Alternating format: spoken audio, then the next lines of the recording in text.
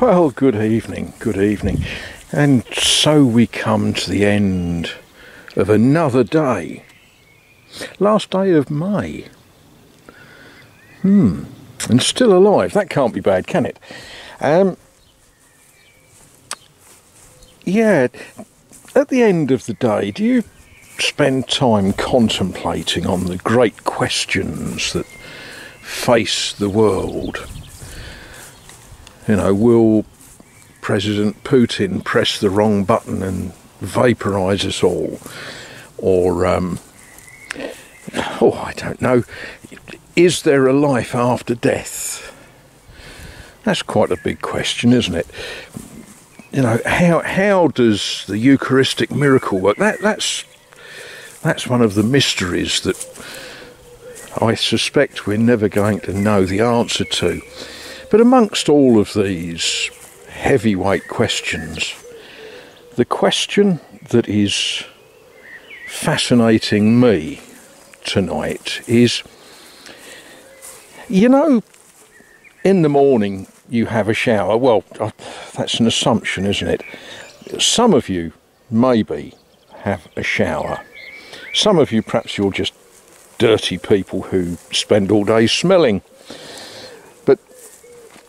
we'll assume that you're all very clean people and every morning you get out of bed and you pinch yourself to make sure you're still alive and you have a shower. Now, every so often, while you're having a shower,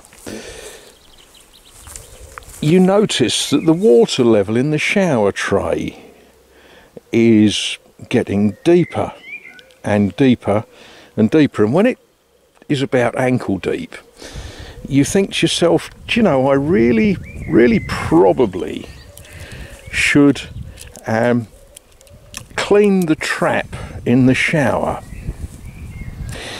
Now, there's only fundamentally three things that go into a shower. There's the human body that's hoping to be a clean human body. There's whatever sort of soap, shower, gel, um, shampoo you use, and there's water. So, the question on my mind tonight is what exactly is it that we recover from the trap in the shower tray? Because it doesn't look like water and it doesn't look like anything that comes off a human body, and it certainly isn't shampoo. Yeah. So let's not worry about Putin nuclearizing the whole world. And let's not spend too long contemplating the meaning of life. Let's have some proper research into what is it that fills up the trap in a shower tray.